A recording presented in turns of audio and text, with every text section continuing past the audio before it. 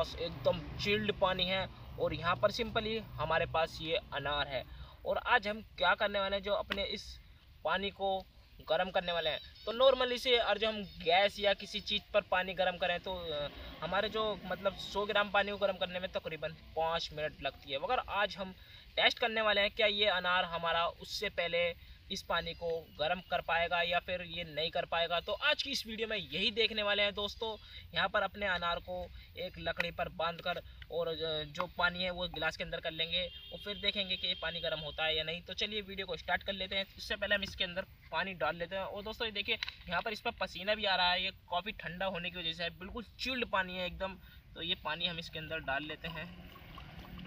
तो हमने इतना पानी ले लिया ये पानी काफ़ी काफ़ी है। और अपने अनार पर हम सकते हो, यहाँ पर हमने कुछ इस प्रकार इसे अपने अनार को लगा लिया है और फिर सिंपली हमें यहाँ पर इस इस टाइप से लगाना है। तो चलिए देखते हैं, ज़्यादा वेट नहीं करते और ये कितनी देर में ये हमारा पानी गर्म होता है।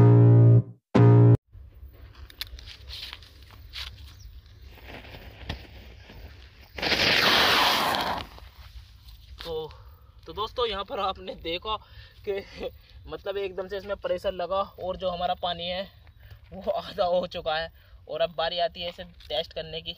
देखते हैं कि ये पानी गर्म हुआ है कि नहीं। तो यहाँ पर दोस्तों ये पानी बिल्कुल भी गर्म नहीं हुआ है और ये ठंडा पानी है सिर्फ़ जो हमारा जो रॉकेट है वो एकदम से चला कि इसके अंदर तो गया वगैरह जो ना हमारा पानी गर्म नहीं कर पाया। क्योंकि पानी काफ़ी ठंडा था शायद इसकी वजह से ये नहीं हुआ है।